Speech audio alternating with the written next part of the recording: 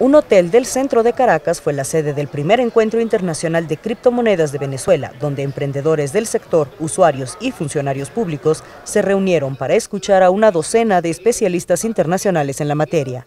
En este día, eh, en la ciudad de Caracas, como una capital blockchain de Venezuela. Sencillamente, hemos congregado 15 de los mejores ponentes internacionales, 15 experiencias distintas de distintos países como España, Rusia, China, Luxemburgo, etcétera, que sencillamente vieron un horizonte distinto en Venezuela, vieron un horizonte nuevo en Venezuela.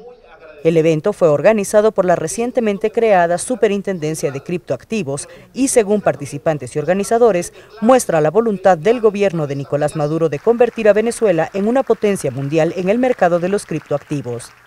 Nosotros siempre hemos entendido eh, que el petro no es sencillamente una criptomoneda como tal, no es una ICO como acostumbradamente se llama, sino es un plan integral de criptoactivos, como lo ha llamado el presidente.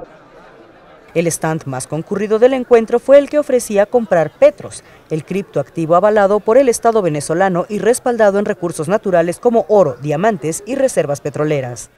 Con información de la oficina en Caracas, Venezuela, Noticias Xinhua.